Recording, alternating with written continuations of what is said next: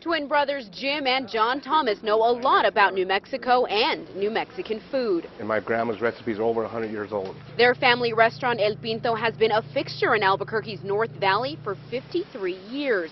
Now these brothers are ready to make it big on the small screen with their own reality TV show called Raw and Wild. New Mexico has so much to offer.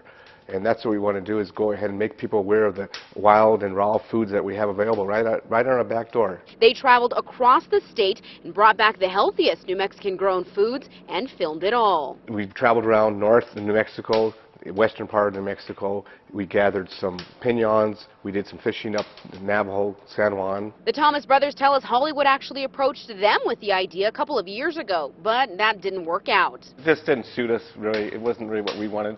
It was kind of more of a, a drama. But they do have enough footage for a pilot episode. So today they launched a crowdfunding page on Kickstarter.com to finish the series. Their goal is to raise more than $17,000. That's about a third of the total cost. The brothers will take care of the rest. But they tell us this is not about the money. We could come up with the money, you know, and something, you know, but uh, it's to show the kind of support we're going to have. And putting the land of enchantment in the spotlight. Another reason for that crowdfunding is the, the, Thomas brothers said it'll be easier to shop it to the networks if they see how much New Mexicans support this project.